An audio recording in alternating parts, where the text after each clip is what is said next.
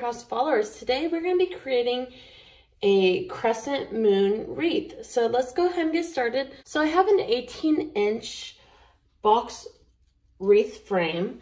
And what we're going to do is I'm actually going to cut off some sections. So I'm going to cut over here. I think I'm going to cut right here and right here. So a total of three bars and I want to cut up close to the bars on this side.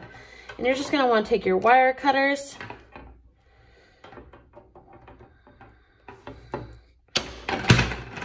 and give it a good, good cut. You're gonna have to give it a little ump here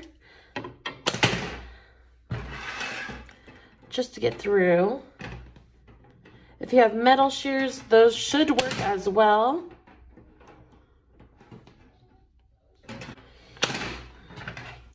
Okay, so I'm not gonna need this section. I'm just gonna throw that away. So I have a few things. I have both a florist tape and a florist wire. And we are gonna use both of those. Okay, so we're gonna come in with that florist tape. And what we're gonna do is just wrap it right around here. So I wanna make sure I get that lowest point.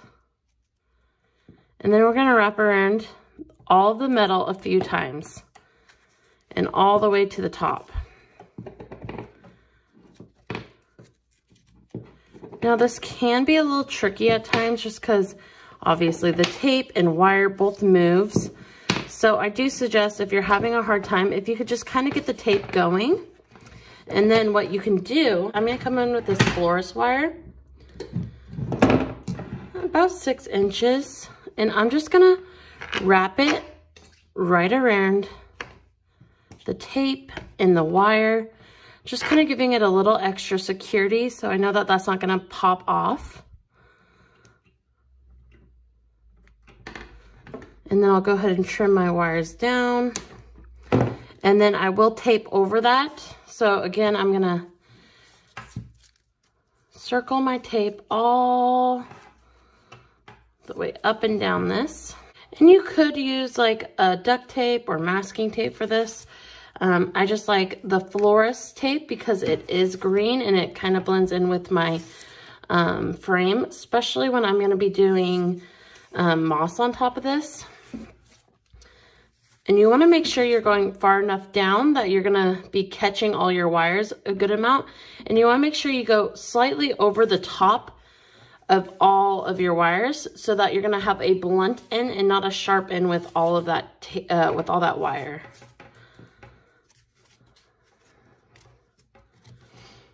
So circle back up. And then we're gonna finish it off.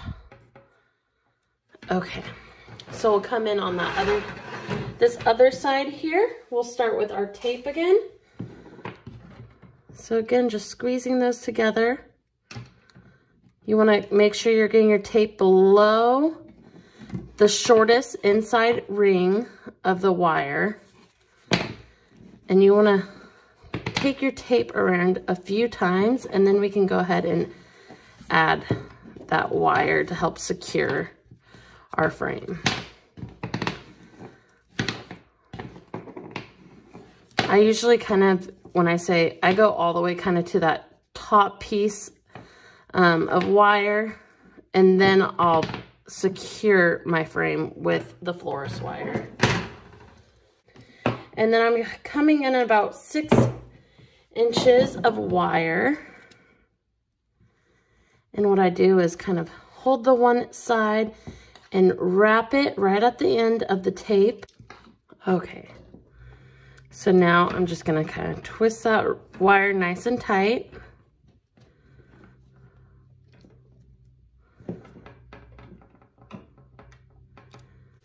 Now that the wire is secure, we're just gonna go ahead and do the same as we did on the other side. And we are just gonna wrap right back down and over the wire.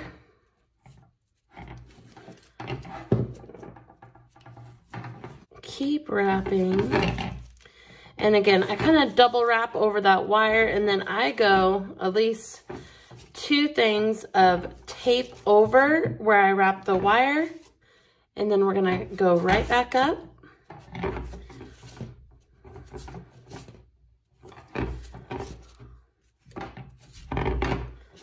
And then I am gonna finish it off right above the wire. Okay, now another thing is if you want to make sure that this is extra secure, you could, when you're ending your um, tape, put a little hot glue. And then you could also put a little hot glue right where it starts, where the tape starts and meets the wire. Just gonna make sure you have a little extra security.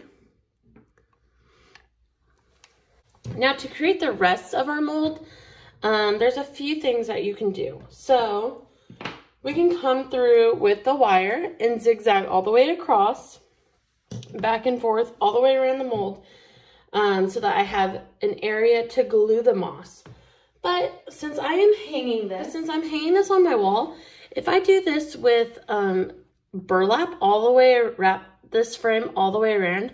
I'm gonna have a nice soft backing so I don't have to worry about the metal up against my wall possibly scratching it. So I'm gonna wrap with burlap. You could do this with um, jute rope as well. So what I'm gonna do is I'm gonna start by putting a thing of hot glue right over that tape. And I am gonna put my end of my jute rope right over it. And then what we're gonna do is we're just gonna slowly wrap the jute rope all the way around. And as I go, I'm gonna put a little bit of hot glue.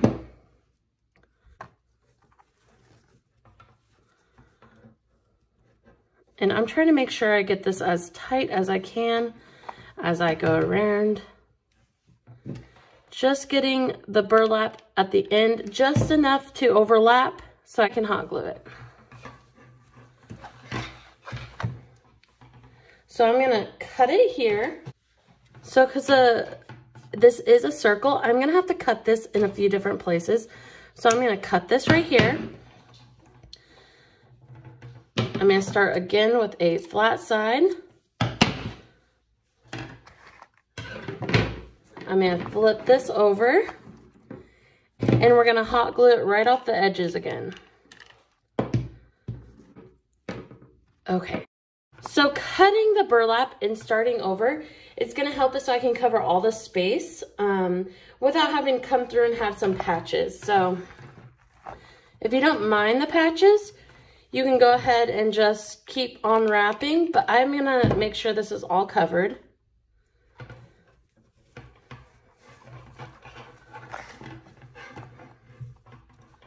And again, just putting hot glue right on the corners as it wraps around the frame. If you were afraid that it wasn't getting enough glue, I could put hot glue in the corner, both corners. So it'll be secure in both areas, but should it be okay with just the one corner? And I'm just gonna continue on down the way.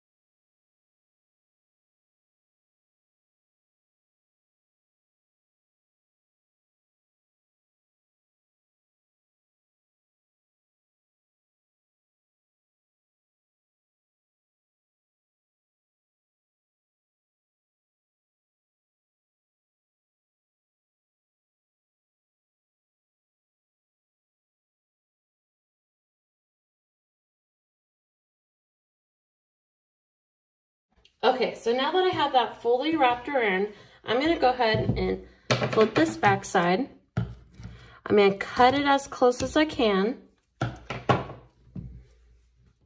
And then what I'm gonna do is put some hot glue and I'm just gonna push him right, right along. Now it is gonna be hot, that extra piece of burlap I just cut off and just kind of use it to help push down that end because I don't want to burn my fingers. Okay, so now is the part that we're going to cover this up with moss. So I have a few different bags because I want to have some different colors. So I have our five moss here. I have a nice chartreuse moss. And then I have this Spanish moss, which I'm going to use to cover most of it. And then we're going to put all the fun colors down. Now I also have some succulents that I have laying around the house. And I'm thinking I might add some crystals or maybe some agate slices. So we'll see. So let's get that Spanish moss out. So I'm just gonna put that bad boy right in the middle and kind of pull off some chunks.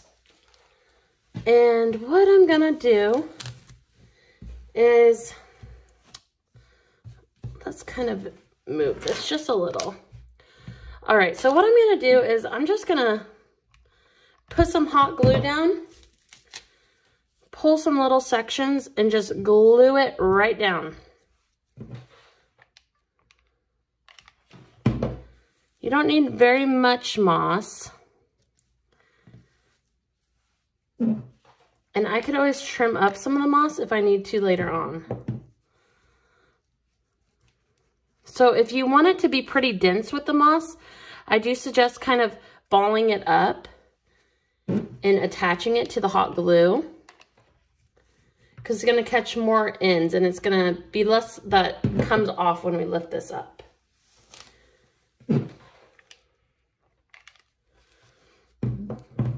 Okay, so kind of condense all the moss together. Glue some here.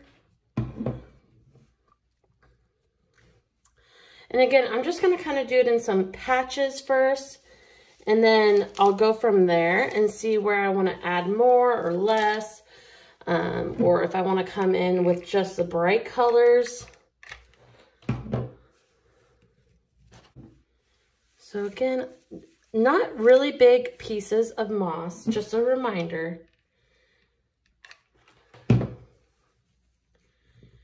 of putting it in patches.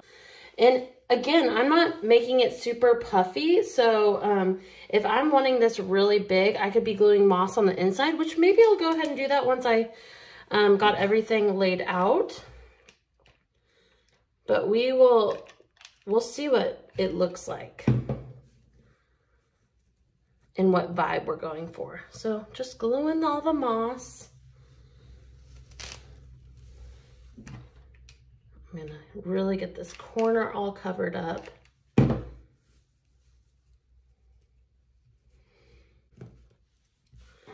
And see how I kind of have that hanging over? So that's where I can come in on that edge and just tuck that moss right on that hot glue. I'll probably do the same thing over here. Looks like I might have to add a little bit.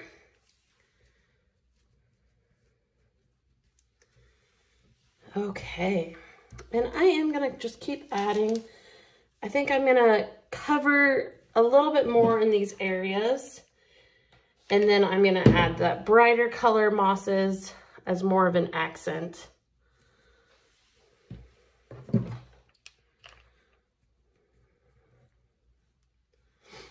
Okay, so we're gonna put a chunk of glue there, or chunk of glue there to bring in the moss. And then let's cover this all up.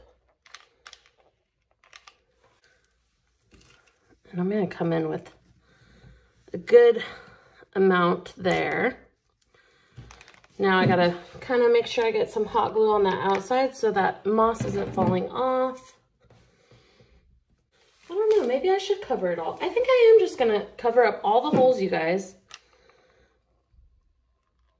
Because I think that other moss all the bright colors will end up adding a whole nother dimension when I put it on and give some depth And then I could tuck them on the sides a little bit more. I think that would look really fun. So just putting all that hot glue down.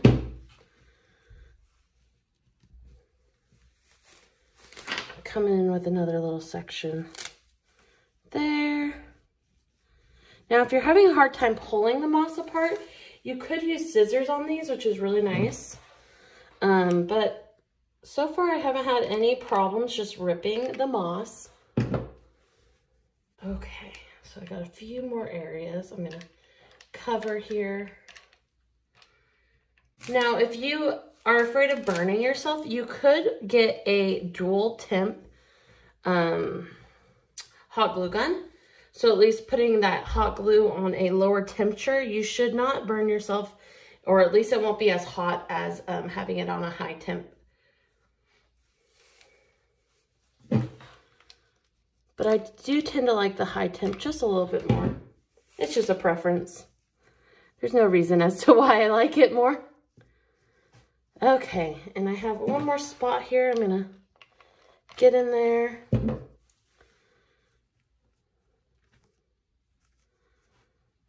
Okay. So what I'm going to do is I'm going to lift this up and I'm going to get all of the other moss out of here so I can see what we have.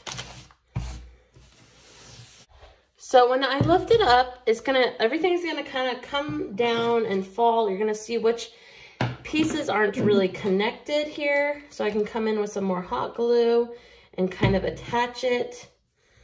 Um, or I could go ahead and trim things up. So if I'm like, I don't like the way this looks here, I want this to be a little bit cleaner, I can just come through and trim it up.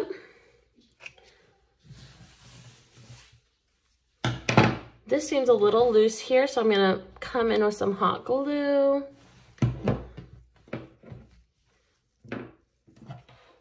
And this is loose, so I'm just gonna put a little hot glue there. Okay, so for the most part, I love how it looks right now. And so now I can come in and add my colored moss and I can add my textured moss and my succulent. So let's open these bags up.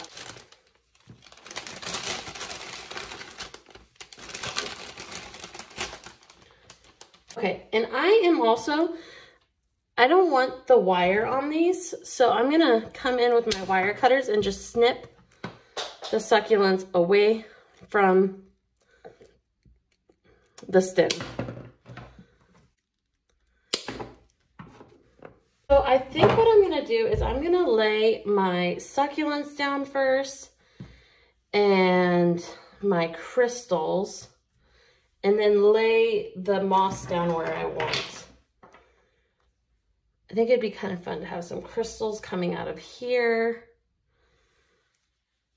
Kind of maybe a few other, thinking three up there and the one down here. Okay, I like the way that looks. Maybe I'll have this one elsewhere. Okay, I think I actually don't like this one here. So I'm just gonna glue those ones up there. And then I'm gonna attach an agate slice to come down.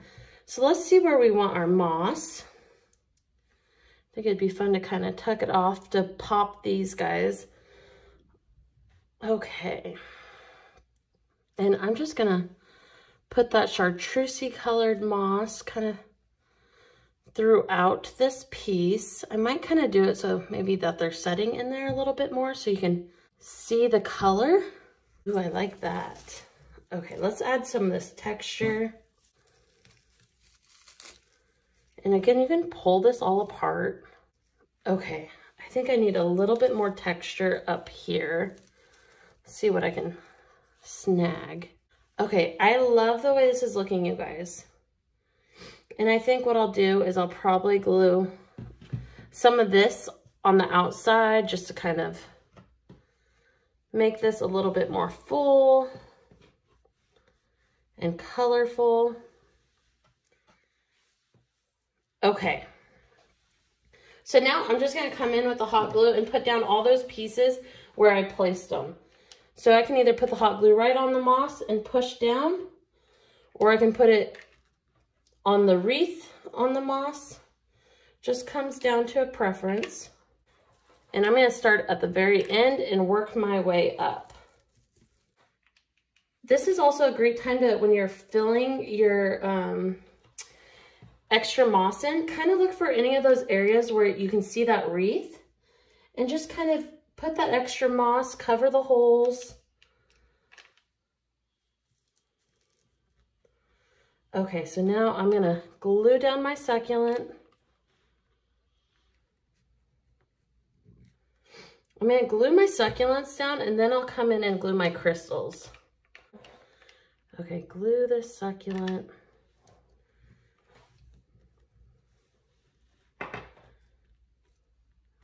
We're gonna glue this moss. I think that went right there. Some hot glue.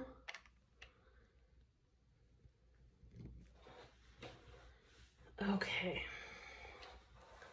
I wanna make sure those are getting nice and secure so I can kind of come in with that um, hot glue gun, make sure it's connecting to that moss. If I'm afraid it's not connecting, I can kind of come in with another chunk of moss and just really secure it. And I can do that with either the fun colorful ones or I can do that with that Spanish moss. So I'm gonna put some hot glue right on there. I'm gonna come up underneath here and just secure him. Cause I don't want him to be flopping around on me or falling off.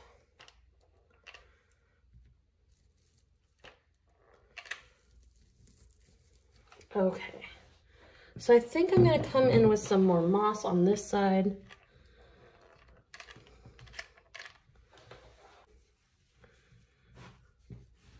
Okay. Because these are much heavier than um, the moss, right? So you, you want to make sure you have enough secure to the base and moss that's going to kind of hold these up when they're hanging on the wall.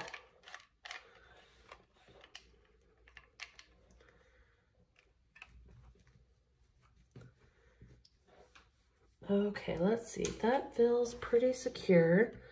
I'm going to come in on this part right here with some hot glue and moss.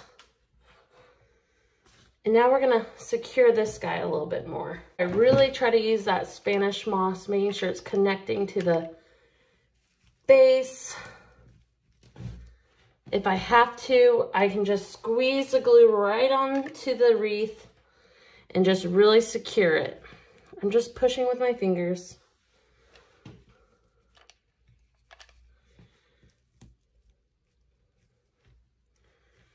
To put some colored moss right here. And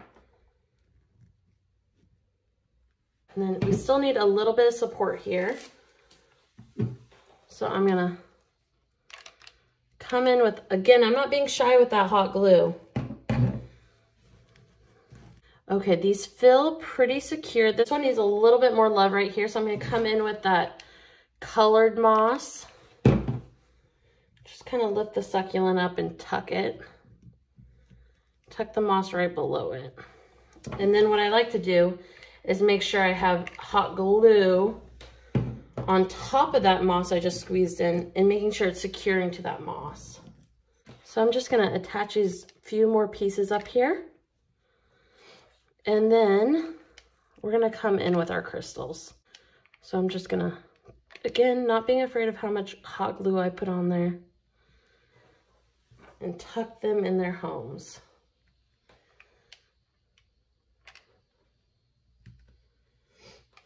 Oh my gosh, I'm loving how this is looking.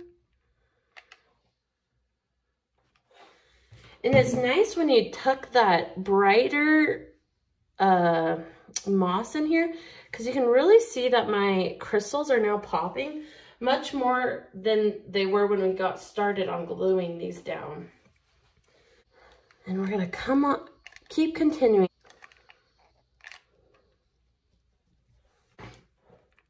Gonna put my hot glue right on that amethyst piece. I'm gonna kind of spread this out a little bit. So I'm gonna put hot glue on both parts. let's rip this up. Spread this out a little bit. Okay, hot glue. And then we're gonna put that amethyst piece right on top of that bright moss. I just think it slightly pops it a little bit more. And then we're gonna come in with some more of that brighter moss. Come in with this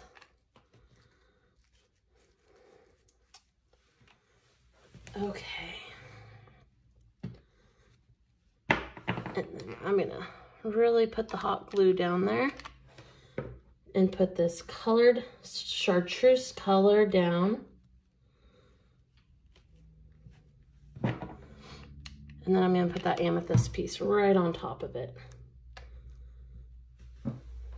Okay. And then we're gonna cover this corner because we're gonna come in with this good sized chunk of moss. So there are a few areas right here. I just want to add some of that Spanish moss. Kind of cover up my bits I have showing for that frame. Moon. All right, so we have our agate slice here. And we are to go and attach this in the simplest way that I can think of. So I'm to set that guy down. And then I have this glue on bail. So it's gonna have a loop that we can take some stringing cord through and then we can put some E6000 right on this guy and let our agate slice uh, dry. So we're gonna go ahead and, so we're gonna go ahead and bring that E6000 in. And we're just gonna go ahead and put a dab of it right in that little textured spot. And then you just want to line up your agate slice wherever you would like. And then I tend to set it upside down since these tend to be thick enough. Um, and then I just want to let that dry for 24 hours. And then we will attach it to our wreath. Okay, so we are wanting to attach an agate slice and kind of have it hanging down. So there's a few ways we can do this, but I'm going to show the simplest way for everybody. And I have this glue on bail. So it's gonna have a loop that we can take some stringing cord through and then we can put some E6000 right on this guy and let our agate slice uh, dry. So we're gonna go ahead and bring that E6000 in. And we're just gonna go ahead and put a dab of it right in that little textured spot. And then you just want to line up your agate slice wherever you would like. And then I tend to set it upside down since these tend to be thick enough. Um, and then I just want to let that dry for 24 hours. And then we will attach it to our wreath. Okay, now that our agate slice is all dried, I'm going to come in with this elastic cord. And I have some large hole amethyst beads. Kind of go with the purple that I have already.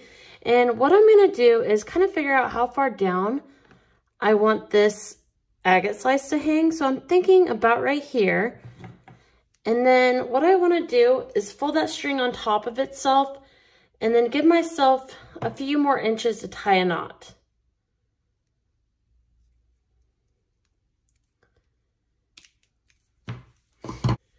What I'm going to do is put the string through the bail and then I am going to string both of these. I'm to take both ends of the string and put them through the beads. Now I'm to string beads all the way up to the top of this, or the bottom of that wreath. And then we will tie the string around the wreath.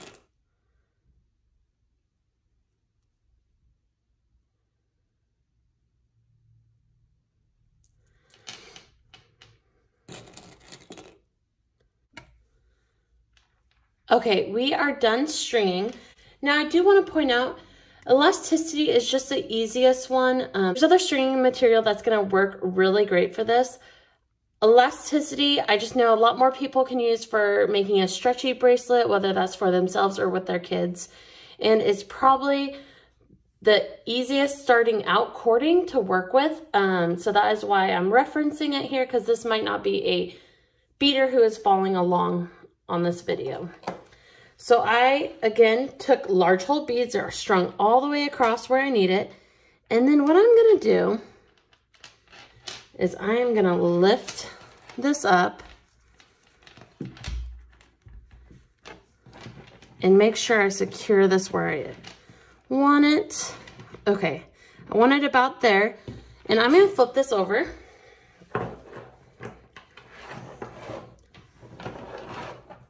And we are gonna secure the knot on the back side. The reason I also like this elasticity is it's going to uh, be clear, so you're not gonna see it on the front side. So to tie this, it's gonna be really simple. You wanna cross your left over your right and loop that around twice and then just pull down and secure. And you're gonna repeat that. So left over right and rotate over twice. And then what I do is probably glue that um, to make sure it does not move on me. I'm gonna probably put some right here, hot glue and some right there. I'm gonna snip off the ends.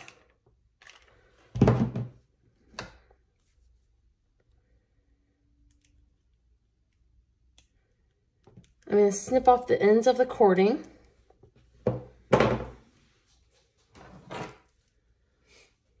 We're gonna flip this over.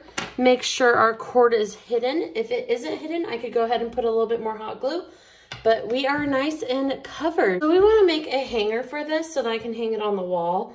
Um, depending on where I'm hanging it, I could possibly um, just make a hole and then I can hook on the wire under here, which is probably what I would do. Now, if I didn't wanna do that, I wanna make sure I have something sturdy enough so that this isn't falling, especially like my succulents I put on here are kind of hefty. So what I'd probably do is take jute rope and tie it around um, and on that front side and make sure that I glue any, um, and then make sure if this was tied in that I was covering this with some moss so it wasn't visible. Um, but I don't want this piece to have any hanger, so I'm gonna make that hole just big enough for that nail to go ahead and catch on the back side. So I don't want that. So I am going to go ahead and come in with my scissors and just kind of cut a little, a little something, making sure I'm not cutting through my cord for my agate slice. And now I'll be able to hook this right on my nail.